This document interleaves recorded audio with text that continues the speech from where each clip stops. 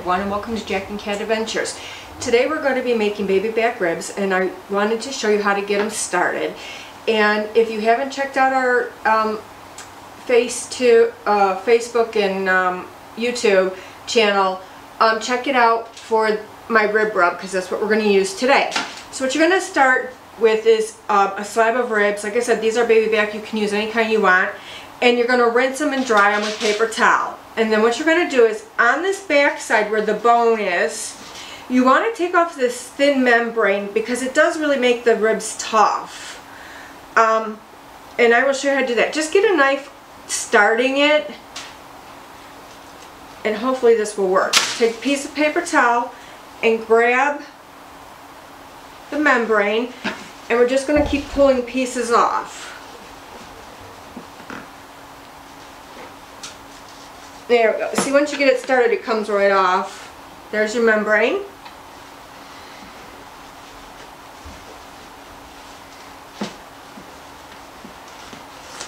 Like I said, using paper towel really helps, especially when they're thin. Sometimes you'll think there's no membrane on there, and there really is. Alright, so just, like I said, get up underneath it with your knife and grab an edge and just pull.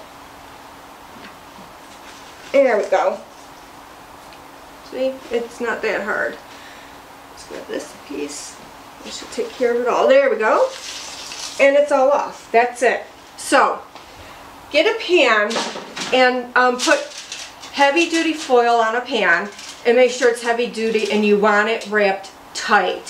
So what you're going to do is you're going to put your rub, whatever kind you're using, you can just use salt, pepper, and garlic powder that's fabulous because then we're going to bake them in the oven and then when they're done baking we're going to barbecue we're going to put barbecue sauce on them so here's my rub. I'm just going to put a little bit all over the inside.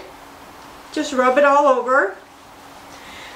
Now you want to do these a day ahead of time because this rub needs to sit on them for 24 hours and soak in. And you don't need much of the rub for flavor just make sure you get all the sides and everything. Alright, so now I'm going to put it on my foil and I'm going to put it meat side up. And we'll wrap it like that. And then I'm just going to put more rub on here.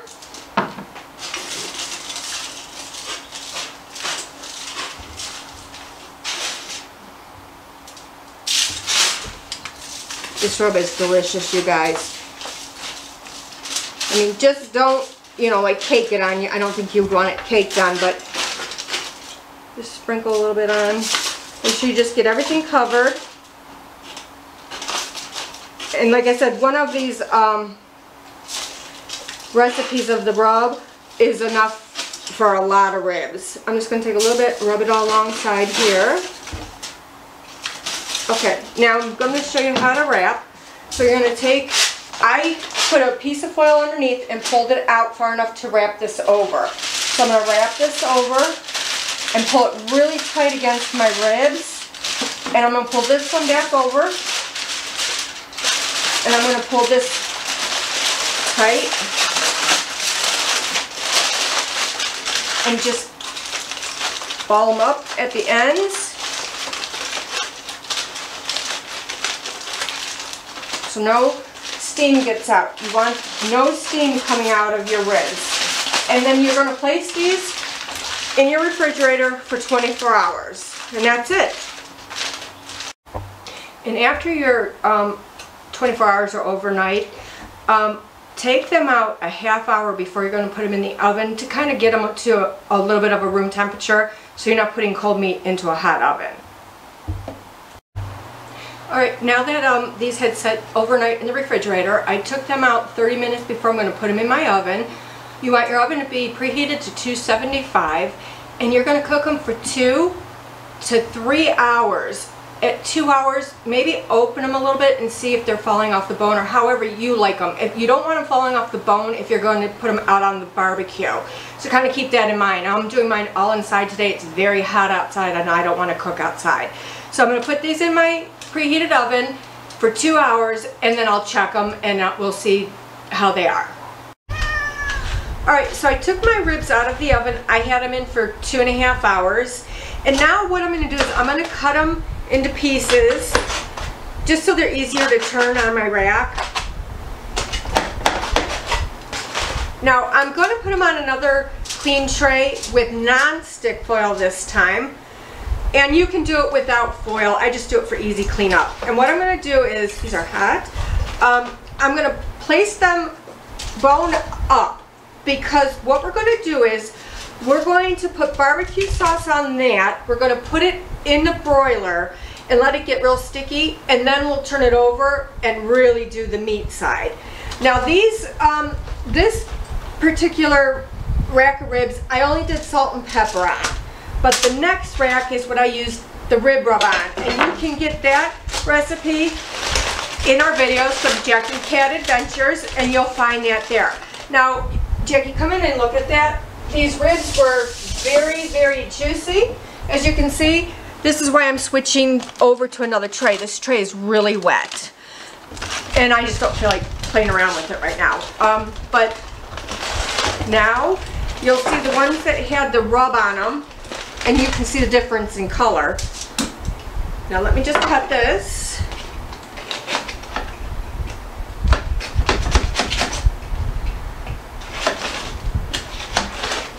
Okay.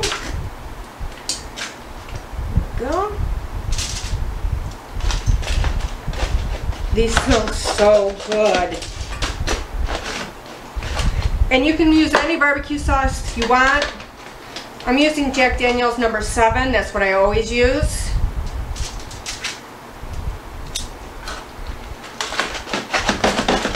You don't have to cut them either. If you feel brave enough to turn them in the oven full rack, then go ahead and do that.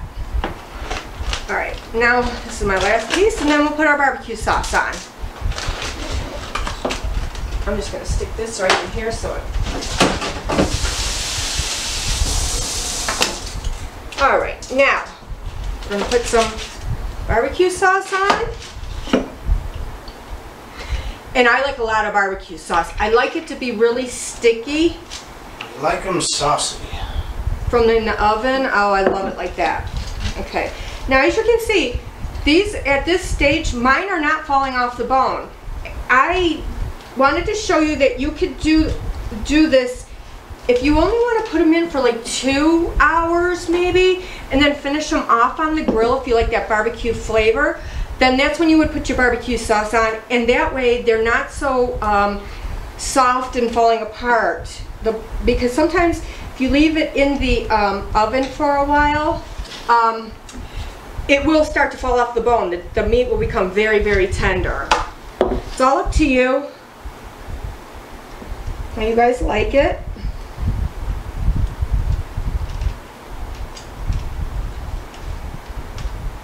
This smells so good, oh my goodness. Okay, they're sauced up now. I'm gonna stick them in a 500 degree oven. And that's broiled for some of you guys. Um, and I'm going to set the timer for three minutes and I'm going to check it. Don't walk away from this. It will burn quickly because of all the sugars in that barbecue sauce. Once we get the stickiness that we want, we'll pull them out, turn them over, and put sauce on the tops and put them back in for another three to five minutes.